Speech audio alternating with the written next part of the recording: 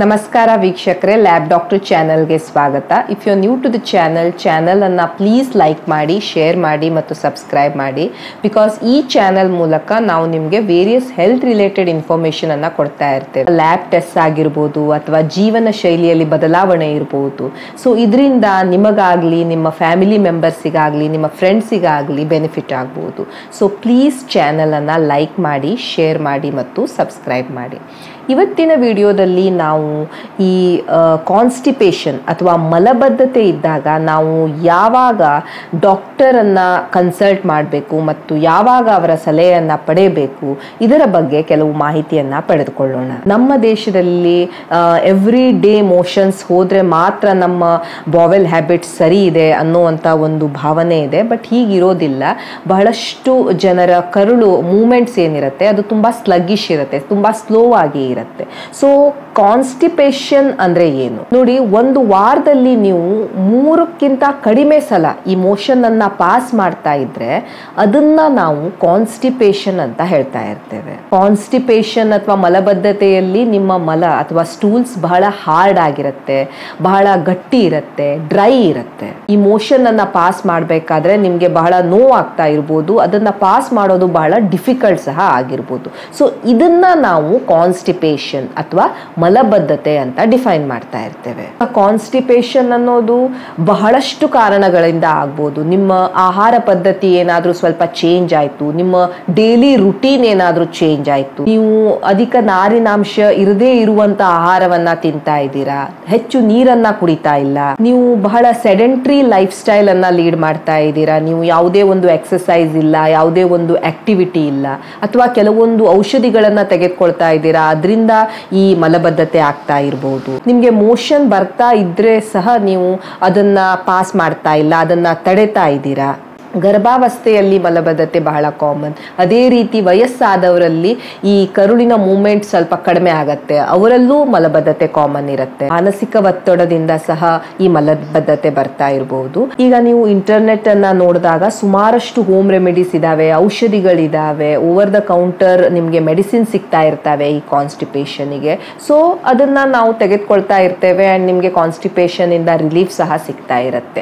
ಇದು ಏನು ದೊಡ್ಡ ಪ್ರಾಬ್ಲಮ್ ಇರೋದಿಲ್ಲ. ಪ್ರಾಬ್ಲಮ್ ಯಾವಾಗ ಆಗತ್ತೆ? ನಿಮ್ಮ ಕಾನ್ಸ್ಟಿಪೇಷನ್ ಅಥವಾ ಮಲಬದ್ಧತೆಯ ಜೊತೆಗೆ ಬೇರೆ ಕೆಲವು ರೋಗ ಲಕ್ಷಣಗಳು ಕಂಡು ಬರ್ತಾ ಇದ್ದಾಗ ನೀವು ನಿಮ್ಮ ಮಲಬದ್ಧತೆಯನ್ನು ಇಗ್ನೋರ್ ಮಾಡೋ ತರ ಇರೋದಿಲ್ಲ. ನೀವು ನಿಮ್ಮ ಡಾಕ್ಟರ್ ಅನ್ನ ಭೇಟಿ ಆಗಬೇಕು. ಯಾಕಂದ್ರೆ ಆವಾಗ ಈ ಮಲಬದ್ಧತೆ ಅಲ್ಲಿ ಅಂಡರ್ಲೈಯಿಂಗ್ ಇರುವಂತಹ ಏನಾದರೂ ಒಂದು ಡಿಸೀಸ್ ಅಥವಾ ರೋಗವನ್ನ ಸೂಚಿಸ್ತಾ ಇರ್ಬೋದು. ಫಾರ್ ಎಕ್ಸಾಂಪಲ್ ನೀವು ರೆಗ್ಯುಲರ್ ಆಗಿ ಮೋಷನನ್ನು ಪಾಸ್ ಮಾಡ್ತಾ ಇದ್ರಿ, ನಿಮ್ಮ ಬಾವೆಲ್ ಮೂಮೆಂಟ್ ಎಲ್ಲ ನಾರ್ಮಲ್ ಇತ್ತು. ಬಟ್ ಸಡನ್ ಆಗಿ ನಿಮಗೆ ಈ ತರ ಮಲಬದ್ಧತೆ ಬಂದಿದೆ. ಆ್ಯಂಡ್ ಈ ಮಲಬದ್ಧತೆ ಸುಮಾರು ದಿನಗಳಿಂದ ನಿಮಗೆ ಇದೆ. ಸೊ ಈ ಸಡನ್ ಆಗಿ ಬರುವಂತಹ ಮಲಬದ್ಧತೆಯ ಬಗ್ಗೆ ನೀವು ಎಚ್ಚರಿಕೆಯಿಂದ ಇರಬೇಕು. ಎಸ್ಪೆಷಲಿ ನಿಮ್ಮ ವಯಸ್ಸು ಐವತ್ತಕ್ಕಿಂತ ಹೆಚ್ಚಿದ್ದಾಗ ಮತ್ತು ಸಡನ್ ಆಗಿ ಈ ತರ ಮಲಬದ್ಧತೆಯ ಪ್ರಾಬ್ಲಮ್ ನಿಮಗೆ ಬಂದಾಗ ನೀವು ಒಂದ್ಸಲ ನಿಮ್ಮ ಡಾಕ್ಟರನ್ನು ಭೇಟಿ ಹಾಕೊಂಡು ಚೆಕಪ್ ಮಾಡಿಸ್ಕೊಳ್ಳೋದು ಒಳ್ಳೆಯದು ಸೆಕೆಂಡ್ ಅಂದ್ರೆ ಲಾಂಗ್ ಲಾಸ್ಟಿಂಗ್ ಕಾನ್ಸ್ಟಿಪೇಷನ್ ಈಗ ನಾನು ಹೇಳ್ದ ಹಾಗೆ ಈ ಮಲಬದ್ಧತೆ ಇದ್ದಾಗ ನೀವು ಹೆಚ್ಚು ನೀರನ್ನು ಕುಡಿತೀರಾ, ಸ್ವಲ್ಪ ಎಕ್ಸಸೈಸನ್ನು ಮಾಡ್ತೀರಾ, ನಾರಿನಾಂಶ ಇರುವಂತಹ ಆಹಾರವನ್ನು ತೆಗೆದುಕೊಳ್ತೀರಾ, ಕೆಲವೊಮ್ಮೆ ಮೆಡಿಸಿನ್ಸನ್ನು ಸಹ ತೆಗೆದುಕೊಳ್ತೀರಾ. ಆ್ಯಂಡ್ ಇದರಿಂದ ನಿಮ್ಮ ಕಾನ್ಸ್ಟಿಪೇಷನ್ ರಿಲೀಫ್ ಸಿಗ್ತಾ ಇರುತ್ತೆ. ಬಟ್ ಮೂರು ವಾರಕ್ಕಿಂತ ಹೆಚ್ಚು ಟೈಮ್ ಆದ್ರೂ ನಿಮಗೆ ಕಾನ್ಸ್ಟಿಪೇಷನಿಂದ ರಿಲೀಫ್ ಸಿಗ್ತಾ ಇಲ್ಲ. ನಿಮ್ಮ ಮಲಬದ್ಧತೆ ಹಾಗೇ ಇದೆ. ನೀವೆಲ್ಲ ಟ್ರೈ ಮಾಡಿದ್ರಿ.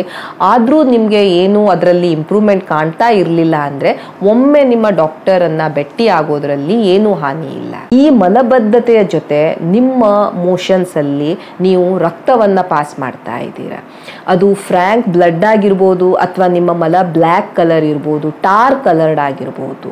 ಸೊ, ಇದು ಅಲ್ಲಿ ಇರುವಂತಹ ಏನಾದರೂ ಒಂದು ದೊಡ್ಡ ಪ್ರಾಬ್ಲಮ್ ಅನ್ನ ಸೂಚಿಸ್ತಾ ಇರ್ಬೋದು. ಫಾರ್ ಎಕ್ಸಾಂಪಲ್, ಕರುಳಿನ ಕ್ಯಾನ್ಸರ್ ಅಥವಾ ಕೋಲೋರೆಕ್ಟಲ್ ಕಾರ್ಸಿನೋಮಾ. ಇಂಥ ಕಂಡೀಷನ್ಸ್ ಅಲ್ಲಿ ಈ ಪೇಷಂಟ್ಸಿಗೆ ಈ ಡೈರಿಯಾ ಮಲಬದ್ಧತೆ ಈ ಥರ ಆಗ್ತಾ ಇರುತ್ತೆ. ಆ್ಯಂಡ್ ಆಲ್ಸೋ ಮಲದಲ್ಲಿ ರಕ್ತ ಹೋಗ್ತಾ ಇರಬಹುದು ಸೆಕೆಂಡ್ ಪೇಷಂಟಿಗೆ ಏನಾದರೂ ಇನ್ಫ್ಲಮೇಟ್ರಿ ಬಾವೆಲ್ ಡಿಸೀಸ್ ಇದೆ ಲೈಕ್ ಕ್ರಾನ್ಸ್ ಡಿಸೀಸ್ ಇದರಲ್ಲೂ ಸಹ ಪೇಷಂಟ್ಸಿಗೆ ಮಲಬದ್ಧತೆ ಬರ್ಬೋದು ಆ್ಯಂಡ್ ಮೋಷನ್ಸಲ್ಲಿ ಅವರು ರಕ್ತವನ್ನು ಪಾಸ್ ಮಾಡ್ತಾ ಇರಬಹುದು ಸೊ ಆದ್ದರಿಂದ ನೀವು ಇದನ್ನ ಇಗ್ನೋರ್ ಮಾಡಲಿಕ್ಕೆ ಹೋಗಬಾರ್ದು. ನನ್ನ ಬಾಡಿಯಲ್ಲಿ ಹೀಟ್ ಆಗಿದೆ, ಏನೋ ತಿಂದಿರಬೇಕು ಆದ್ದರಿಂದ ಈ ಥರ ಎಲ್ಲ ಆಗ್ತಾ ಇದೆ ಅಂತ ಸುಮಾರು ಪೇಷಂಟ್ಸ್ ಇದನ್ನ ನಿಗ್ಲೆಕ್ಟ್ ಮಾಡ್ತಾರೆ. ಕೆಲವೊಮ್ಮೆ ಅವರು ಹಾಸ್ಪಿಟಲ್ಗೆ ಬಂದಾಗ ಆ ಡಿಸೀಸ್ ತುಂಬ ಸ್ಪ್ರೆಡ್ ಆಗಿರುತ್ತೆ. ಸೊ ರಕ್ತ ನಿಮ್ಮ ಮಲದಲ್ಲಿ ಬರ್ತಾ ಇದೆ. ಅದು ಒಂದೇ ಸಲ ಆಗಿರ್ಬೋದು. ಸ್ಟಿಲ್ ನೀವು ಒಂದ್ಸಲ ನಿಮ್ಮ ಡಾಕ್ಟರನ್ನು ಭೇಟಿ ಆಗಬೇಕು to rule out any underlying cause fourth ರೋಗ ಲಕ್ಷಣ ಅಂದರೆ ಅನ್ಎಕ್ಸ್ಪ್ಲೇನ್ಡ್ ವೇಟ್ ಲಾಸ್ ಅಂದರೆ ನೀವು ಯಾವುದೇ ಟೈಪ್ ಆಫ್ ಎಕ್ಸಸೈಸನ್ನು ಮಾಡ್ತಾ ಇಲ್ಲ. ಏನಾದರೂ ಒಂದು ಡಯಟನ್ನು ಫಾಲೋ ಮಾಡ್ತಾ ಇಲ್ಲ. ಬಟ್ ನಿಮ್ಮ ತೂಕ ಕಡಿಮೆ ಆಗ್ತಾ ಇದೆ. ಈ ಮಲಬದ್ಧತೆ ಇರುವವರಿಗೆ ಈ ತರ ಹೊಟ್ಟೆಯಲ್ಲಿ ಗ್ಯಾಸ್ ಫಾರ್ಮೇಶನ್ ಆಗೋದು, ಸ್ವಲ್ಪ ಊಟ ಸೇರದೆ ಇರೋದು ಎಲ್ಲ ಇರುತ್ತೆ. ಬಟ್ ಬಹಳಷ್ಟು ವೇಟ್ ಕಡಿಮೆ ಆಗ್ತಾ ಇದೆ. ಮತ್ತು ಇದಕ್ಕೆ ಯಾವುದೇ ಒಂದು ಪರ್ಟಿಕ್ಯುಲರ್ ರೀಸನ್ ಇಲ್ಲ. ಅದರ ಜೊತೆ ನಿಮಗೆ ಮಲಬದ್ಧತೆಯೂ ಸಹ ಇದೆ ಅಂದಾಗ ನೀವು ಡೆಫಿನೆಟ್ಲಿ ನಿಮ್ಮ ಡಾಕ್ಟರ್ ಅನ್ನ ಭೇಟಿ ಆಗಬೇಕು. ಯಾಕಂದ್ರೆ ಈ ಕರುಳಿನ ಕ್ಯಾನ್ಸರ್ಸ್ ಅಲ್ಲಿ ಸೀಲಿಯಾಕ್ ಡಿಸೀಸಸ್ ಅಲ್ಲಿ ಈ ಮಲಬದ್ಧತೆ ಇರುತ್ತೆ ಮತ್ತು ಪೇಷಂಟ್ಸಿಗೆ ವೇಟ್ ಲಾಸ್ ಸಹ ಇರುತ್ತೆ. ಫಿಫ್ತ್ ರೋಗ ಲಕ್ಷಣ ಅಂದರೆ ಸಿವಿಯರ್ ಪೇನ್ ಅಬ್ಡಾಮನ್ ಅಥವಾ ಬಹಳ ಹೊಟ್ಟೆ ನೋವು ಬರ್ತಾ ಇದೆ. ಈ ಮಲಬದ್ಧತೆ ಬಂದಾಗ ಕೆಲವೊಮ್ಮೆ ಪೇಷಂಟ್ಸ್ಗೆ ಸ್ವಲ್ಪ ಹೊಟ್ಟೆ ನೋವು, ಹೊಟ್ಟೆ ಉಬ್ಬರ ಎಲ್ಲ ಇರ್ತಾ ಇರುತ್ತೆ. ಬಟ್ ಬಹಳ ಹೊಟ್ಟೆ ನೋಯ್ತಾ ಇದೆ ನಿಮಗೆ ಅಂದಾಗ ಅಲ್ಲಿ ನಿಮ್ಮ ಕರುಳಿನಲ್ಲಿ ಏನಾದರೂ ಒಂದು ಅಬ್ಸ್ಟ್ರಕ್ಷನ್ ಆಗಿರ್ಬೋದು, ನಿಮ್ಮ ಕರುಳಿನಲ್ಲಿ ಏನಾದರೂ ಬ್ಲಾಕ್ ಆಗಿರಬಹುದು ಅಥವಾ ಡೈವರ್ಟಿಕ್ಯುಲೈಟಿಸ್ ಅಂತ ಆಗಿರಬಹುದು. ಇದರಿಂದ ಈ ಮಲಬದ್ಧತೆ ಉಂಟಾಗ್ಬಿಡತ್ತೆ ಮತ್ತು ಪೇಷಂಟ್ಸಿಗೆ ಬಹಳ ಸಿವಿಯರ್ ಹೊಟ್ಟೆ ನೋವು ಸಹ ಇರುತ್ತೆ. ಸೊ ಇಂಥ ಕಂಡೀಷನ್ಸಲ್ಲೂ ಸಹ ನೀವು ಡಾಕ್ಟರನ್ನು ಭೇಟಿ ಆಗಬೇಕು. ಹೋಮ್ ರೆಮಿಡೀಸನ್ನು ಮಾಡ್ತಾ ಇರಬಾರ್ದು. ಯಾವಾಗ ಈ ನೋವು ಹೋಗುತ್ತೆ, ಯಾವಾಗ ನನಗೆ ಮೋಷನ್ ಪಾಸ್ ಆಗುತ್ತೆ ಅಂತ ವೇಟ್ ಮಾಡೋಕ್ಕಿಂತ ಒಂದ್ಸಲ ನಿಮ್ಮ ಡಾಕ್ಟರನ್ನು ತೋರಿಸ್ಕೊಂಡು ಒಂದು ಒಪಿನಿಯನನ್ನು ಪಡೆದುಕೊಳ್ಳುವುದು ಬೆಟರ್ ಸಿಕ್ಸ್ತ್ ಸಿಂಪ್ಟಮ್ ಅಂದರೆ ವಾಂತಿ ಆಗೋದು. ಮಲಬದ್ಧತೆಯ ಜೊತೆ ನಿಮಗೆ ವಾಂತಿ ಆಗ್ತಾ ಇದೆ ವಾಮಿಟಿಂಗ್ ಆಗ್ತಾ ಇದೆ. ಸೊ ಇದು ಅಲ್ಲಿ ಏನಾದರೂ ಅಬ್ಸ್ಟ್ರಕ್ಷನ್ ಅಥವಾ ನಿಮ್ಮ ಕರುಳಿನಲ್ಲಿ ಏನಾದರೂ ಬ್ಲಾಕೇಜ್ ಇದೆ, ಅಡಚಣೆ ಇದೆ, ಅದು ಟ್ಯೂಮರ್ ಇಂದ ಇರಬಹುದು ಕೆಲವೊಮ್ಮೆ ಹರ್ನಿಯಾದಿಂದ ಇರಬಹುದು ಅಥವಾ ಅಲ್ಲಿ ಬಹಳ ಉರಿಯೂತವಾಗ್ತಾ ಇದೆ, ಅದರಿಂದ ಇರಬಹುದು ಅದರಿಂದ ಮಲಬದ್ಧತೆಯ ಜೊತೆ ನಿಮಗೆ ವಾಂತಿ ಸಹ ಆಗ್ತಾ ಇದೆ ಅಂದಾಗ ಸಹ ನೀವು ನಿಮ್ಮ ಡಾಕ್ಟರಿನ ಒಪಿನಿಯನ್ ಅನ್ನ ಪಡೆಯಬೇಕು. ಸೆವೆಂತ್ ಸಿಂಪ್ಟಮ್ ಅಂದ್ರೆ ಬ್ಲೋಟಿಂಗ್ ಅಥವಾ ಗ್ಯಾಸ್ ತುಂಬಿಕೊಂಡ ಸೊ ಬಹಳಷ್ಟು ಸಲ ನಾವು ಪೇಷಂಟ್ಸ್ ಅನ್ನ ನೋಡ್ತಾ ಇರ್ತೇವೆ, ಅವರಿಗೆ ಮಲಬದ್ಧತೆ ಇರುತ್ತೆ ಮೋಷನ್ ಅನ್ನ ಪಾಸೇ ಮಾಡಲಿಲ್ಲ, ಆದ್ರಿಂದ ನನ್ನ ಹೊಟ್ಟೆ ಉಬ್ಕೊಂಡ ಹಾಗಿದೆ, ಬಹಳ ಸ್ವಲ್ಪ ನೋವು ಇರುತ್ತೆ ಅಂತ ಹೇಳ್ತಾ ಇರ್ತಾರೆ. ಮನೆಯಲ್ಲಿ ಹೋಮ್ ರೆಮಿಡೀಸ್ ಅನ್ನ ಟ್ರೈ ಮಾಡ್ತಾ ಇರ್ತಾರೆ. ಬಟ್ ನಿಮ್ಗೆ ಈ ತರ ಬಹಳ ಹೊಟ್ಟೆ ಉಬ್ಬರ ಇದೆ, ಬಹಳ ಪೇನ್ಫುಲ್ ಆಗಿದೆ, ಬಹಳ ನೋವಿದೆ, ಅದರ ಜೊತೆ ಮಲಬದ್ಧತೆ ಇದ್ದಾಗ ಇದು ನಿಮ್ಮ ಕರುಳಿನ ಅಬ್ಸ್ಟ್ರಕ್ಷನ್ ಇಂದ ಹೀಗಾಗ್ತಾ ಇರಬಹುದು ಅಥವಾ ಇರಿಟೇಬಲ್ ಬಾವೆಲ್ ಸಿಂಡ್ರೋಮ್ ಇಂದ ಆಗ್ತಾ ಇರಬಹುದು. ಸೊ ಇದನ್ನ ನಾವು ನಿಗ್ಲೆಕ್ಟ್ ಮಾಡೋ ಹಾಗಿರೋದಿಲ್ಲ. ನೀವು ಹೋಮ್ ರೆಮಿಡೀಸ್ ಅನ್ನ ಮಾಡಿ ನೋಡಿ ಬಟ್ ಅದರಿಂದ ಕಡಿಮೆ ಆಗ್ತಾ ಇಲ್ಲ, ನಿಮಗೆ ಬಹಳ ಪೇನ್ಫುಲ್ ಆಗಿದೆ, ಹೊಟ್ಟೆ ಬಹಳ ನೋವು ಬರ್ತಾ ಇದೆ, ಹೊಟ್ಟೆ ಉಬ್ಬರ ಬಹಳ ಇದೆ ಅಂದಾಗ ನೀವು ಡಾಕ್ಟರ್ ಅನ್ನ ಭೇಟಿ ಆಗಬೇಕು. ಇನ್ನೊಂದು ರೋಗ ಲಕ್ಷಣ ಈ ಮಲಬದ್ಧತೆ ಜೊತೆ ಬರೋದು ಅಂತ ಹೇಳಿದ್ರೆ ನಿಮ್ಮ ಹಾರ್ಟ್ ಬೀಟ್ ಬಹಳ ಜಾಸ್ತಿ ಆಗೋದು. ಕೆಲವೊಮ್ಮೆ ಏನಾಗ್ಬಿಡತ್ತೆ, ಈ ಮಲಬದ್ಧತೆ ಇದ್ದಾಗ ಈ ಮಲ ಹೊರಗೆ ಹೋಗ್ಲಿಕ್ಕೆ ಆಗದೆ ಆ ಮಲ ನಿಮ್ಮ ಕರುಳನ್ನ ಅಬ್ಸ್ಟ್ರಕ್ಟ್ ಮಾಡಿಬಿಡ್ಬೋದು ಅಥವಾ ಬ್ಲಾಕ್ ಮಾಡಿಬಿಡ್ಬೋದು. ಸೊ ಹೊಸದಾಗಿ ಫಾರ್ಮ್ ಆಗಿರುವಂತ ಮಲ ಬಾಡಿಯನ್ನ ಬಿಟ್ಟು ಹೊರಗೆ ಹೋಗ್ಲಿಕ್ಕೆ ಆಗೋದಿಲ್ಲ. ಈ ತರ ಅಬ್ಸ್ಟ್ರಕ್ಷನ್ ಆದಾಗ ನಿಮ್ಮ ಹಾರ್ಟ್ ಬೀಟ್ ಜಾಸ್ತಿ ಆಗ್ಬೋದು, ನಿಮಗೆ ವಾಮಿಟಿಂಗ್ ಆಗ್ಬೋದು, ಕೆಲವೊಬ್ಬರಿಗೆ ಕನ್ಫ್ಯೂಷನ್ ಆಗ್ಬೋದು. ಮಲಬದ್ಧತೆ ಜೊತೆ ಇವೆಲ್ಲ ಸಿಂಪ್ಟಮ್ಸನ್ನು ನೀವು ನೋಡ್ತಾ ಇದ್ದಾಗ it could be a sign of faecal impaction so ಕಾನ್ಸ್ಟಿಪೇಷನ್ನಿನ ಜೊತೆ ನಿಮಗೆ ಹೈ ಫೀವರ್ ಬರ್ತಾ ಇದೆ. ಅಂದಾಗ ಸಹ ನೀವು ನಿಮ್ಮ ಡಾಕ್ಟರ್ ಅನ್ನ ಭೇಟಿ ಆಗಬೇಕು ಸೊ ಈ ಮಲಬದ್ಧತೆಗೆ ನೀವು ಹೋಮ್ ರೆಮಿಡೀಸ್ ಮಾಡೋದ್ರಲ್ಲಿ ಏನೂ ತಪ್ಪಿಲ್ಲ. ಆನ್ ದ ಕೌಂಟರ್ ಔಷಧಿಯನ್ನು ತೆಗೆದುಕೊಳ್ಳೋದ್ರಲ್ಲೂ ಸಹ ಏನೂ ತಪ್ಪಿಲ್ಲ.